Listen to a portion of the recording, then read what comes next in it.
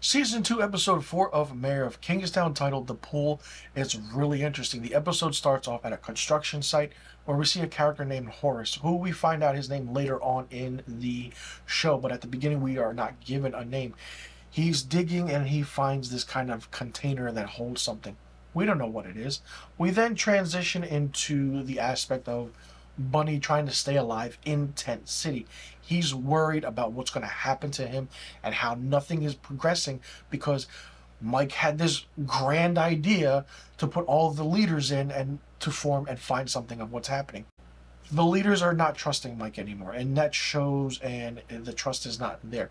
Mike then goes to the assistant DA, gives her like a mouthful of what the DA needs to do, but the whole aspect of the DA still harboring on that bus full of bodies that we found out about in season one is there, and he's just dangling it over everyone's head and Mike's head. And, you know, basically, Mike is like, you know, telling the assistant DA for the DA to get his shit together and do something about it. And the assistant DA is like, I don't have time for this shit. You need to leave now. Uh, then Kyle is wanting a job. You know, he goes to uh, Mitch's grave and he says what's happening and everything. Goes to Mike, and Mike is like, uh, "What do you want me to do? I need you to keep looking for Iris and everything." Kyle's like, "No, I'm not. I you need hands. I have those hands. Let me help you. Give me a job." So all that is going on, and the aspect is happening.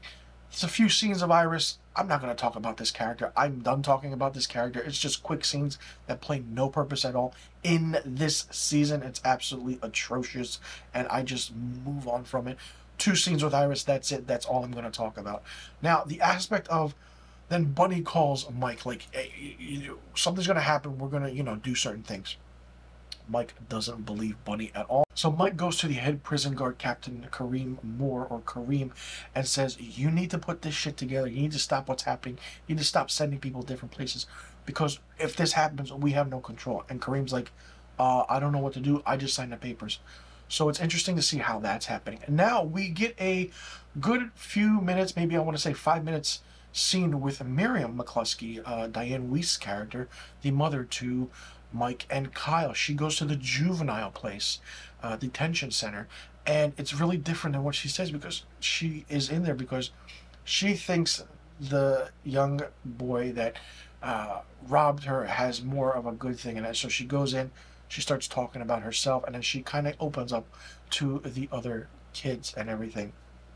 It's a really touching moment, and it's really, really fun to see. So now the character of Horace, who I mentioned in the beginning, who now we know the name because he went into a pawn shop, didn't know where to go because he went home. We found out that the things he dug up or found were bail bonds or bonds or certificates and of kind of like old notes ranging from $500,000 on up. Do they still work? Who knows? He goes to the pawn shop and says, hey, listen, to his friend, need some help. What's going to happen? He's like, all right, uh, you know, get your shit and get out of here, but I don't want to deal with it. He's like, no, he's like, please, seriously, I need help. So his friend, the pawn shop owner, gives him an address. He goes, and this there's a scene with Iris. Horace comes into the club and asks Iris, where's Joe? He goes upstairs, gets the shit kicked out of himself because it's, you know, it's Joe. And he does that. Gets his finger cut off. I mean, it's terrible. It's absolutely insane. Now, Horace's wife is not comfortable. She takes all the bonds and whatever, puts it in a duffel bag, goes to the police station.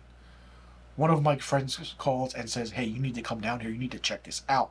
What is it? Mike's like, Holy shit, did we have this? So, yeah. So we find out that this stuff belongs to Milo.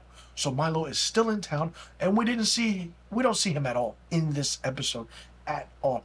This is more so of a episode where it's in your face, but it's much better than the previous episode. I mean, this episode is only 39 minutes long, but it works to a point where it just keeps going and going and going. Take out the two scenes with Iris, whatever. We find out that Mike is trying to handle things. And then after Mike goes to the police station to figure out what these bonds are, he goes to Tent City. Tent City is cleared out. No one is there what's going to happen. And that's the end of the episode. That's the review and recap of episode four of season two of Mayor of Kingstown. Absolutely brilliant writing, and I can't wait to see what's going to happen. I mean, it's getting better and better. Like, can you trust Mike now? Like, who can he trust, or who will trust him? Vice versa, whatever it is. Uh, what's going to happen with Milo? Will they finally confront each other?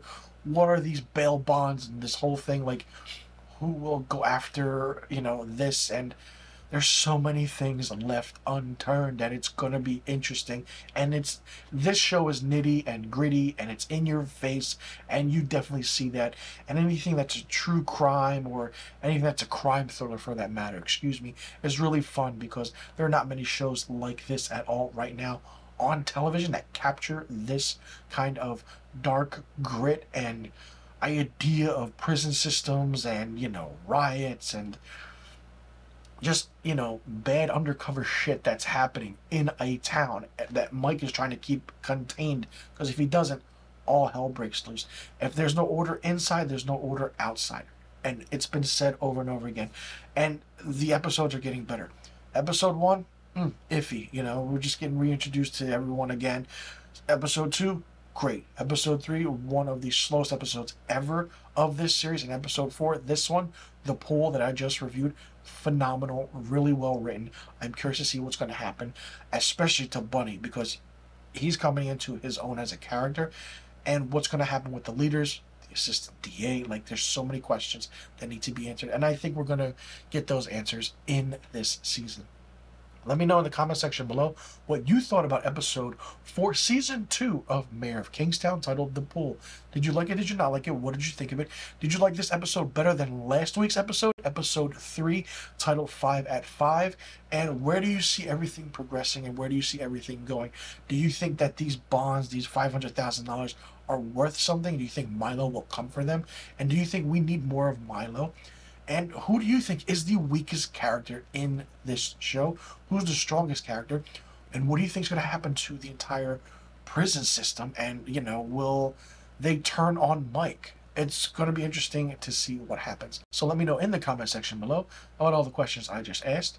And be sure you click that subscribe button, hit that notification bell for new videos on my channel. I'll see you all in the next review video. And be sure you tune in next week for my episode 5, season 2 review of Mayor of Kingstown.